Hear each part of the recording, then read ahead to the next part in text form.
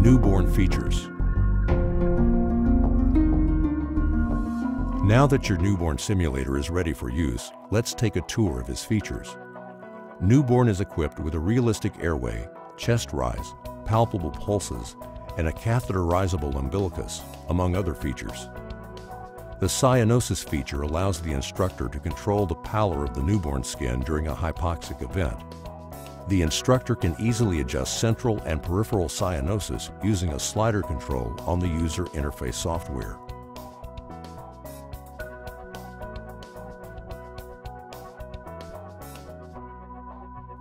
Newborn's airway can be intubated both nasally and orally. Additionally, the newborn can be ventilated with a BVM or mechanical ventilator.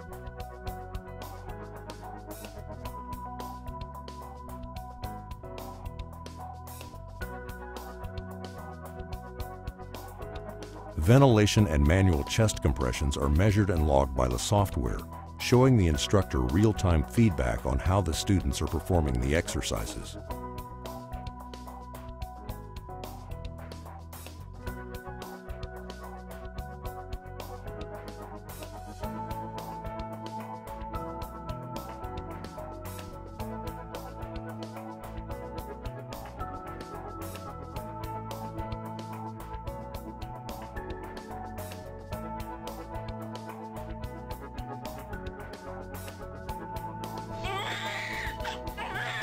Crying sounds can be turned on or off at any time.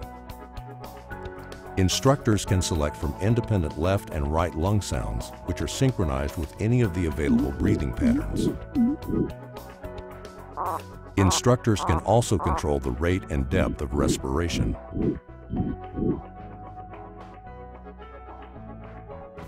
Newborn is equipped with several realistic heart sounds, which are synchronized with software-controlled heart rates and rhythms.